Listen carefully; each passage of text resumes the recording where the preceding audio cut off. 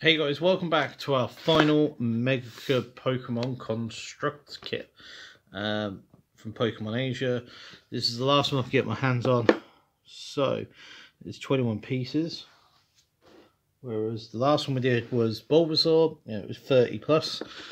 So we'll have a quick open up of this and see if uh, this one is going to be just as unique as uh, Bulbasaur was. I'm presuming most of this is going to be bodywork.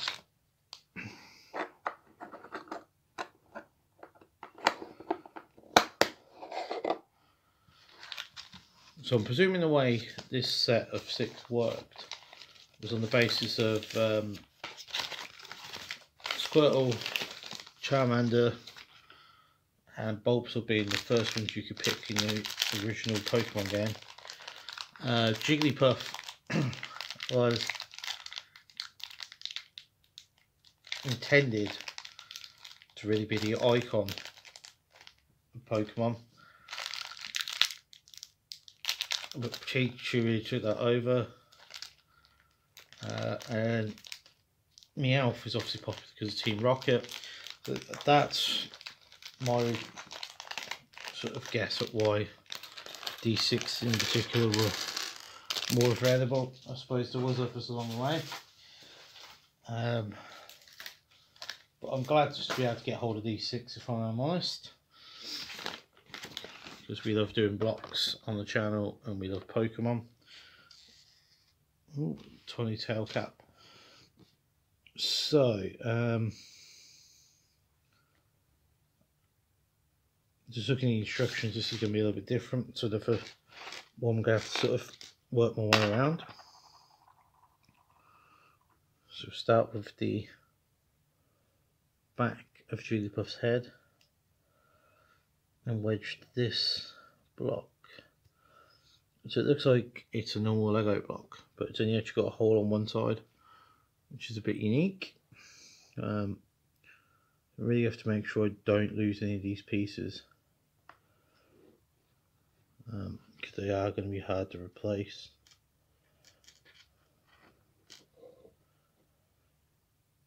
So, Jigglypuff's arms are literally these little bullets. I thought it was uh, something else, but it's actually this and this little cap. They do his little Jigglypuff arms. So now I've put that in, I've literally got to turn it this way. Um,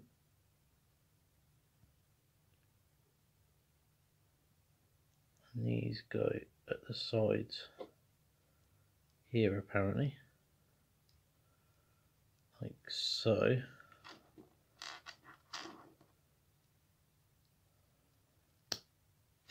And then another one of these ones with a hole comes in here. So I'm sure this is all going to make sense in a moment.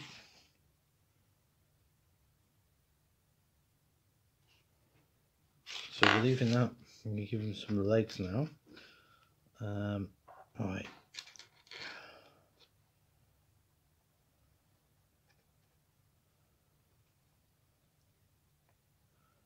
So what's quite funny is the uh, feet and the ears are identical.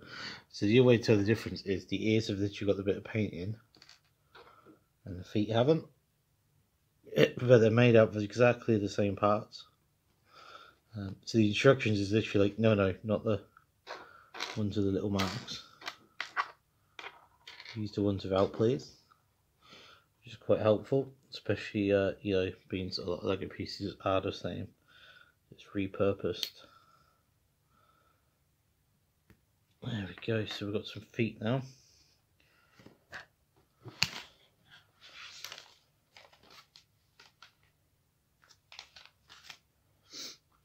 So our feet are just clipping this uh, little hole here like that. So as suspected, it is all going to be pretty much self-contained.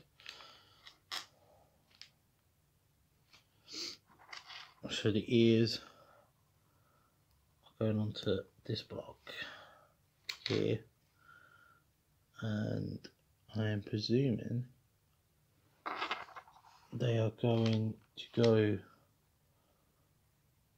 into these um, armholes. So I'm trying not to use instructions too much so I can work it out myself. Feel experimentation is the key. Hmm.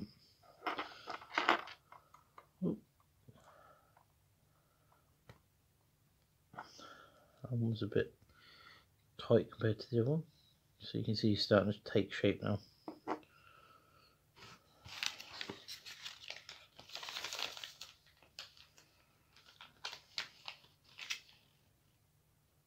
So, I'm just wondering what these red blocks for. Sorry guys, I'm just stopping. Make sure I've not missed anything out. But it turns out that is just for um,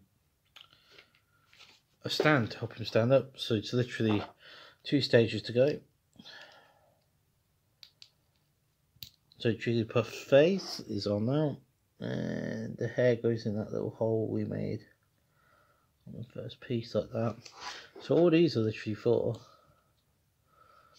is to stabilise the weight. Um, this is the only one with this sort of setup. We'll pop him on here.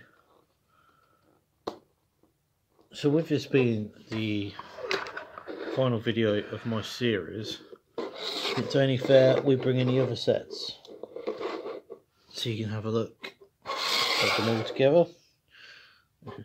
Group photo.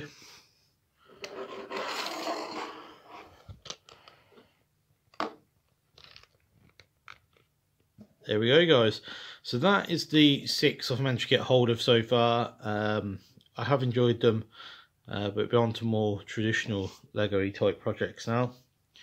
So guys, until next time, stay safe, keep gaming. I hope you've enjoyed this little mini series, and uh, we'll catch you again soon.